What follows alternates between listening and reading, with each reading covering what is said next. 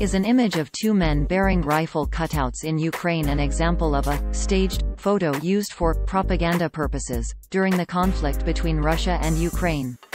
No, that's not true. The image was taken during a civilian training exercise, which explains why the men are not carrying real weapons. The claim appeared in a Facebook post, on February 27, 2022. The post included a picture of a Fox News report that used the image of the two men.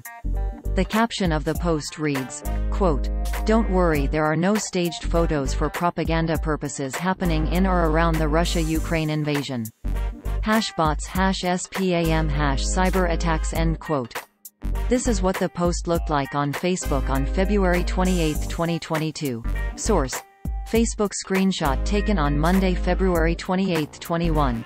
282022 UTC. Lead Stories located the image on Alamy, a stock photography website. The image was taken on February 19, 2022, and provided by Ukrinform, a Ukrainian news agency. The full caption of the image stated, quote, Kharkiv, Ukraine. February 19, 2022 Two men with rifle cutouts take cover behind a corner during the territorial defense drill for civilians given by Azov Regiment veterans under the slogan, Don't Panic. Get ready. Kharkiv, northeastern Ukraine. End quote. Lead Stories also found the Fox News report that used the image. The report featured Kira Rudik, a Ukrainian member of parliament.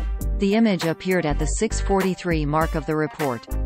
More lead stories fact checks related to the Russia-Ukraine conflict can be found here.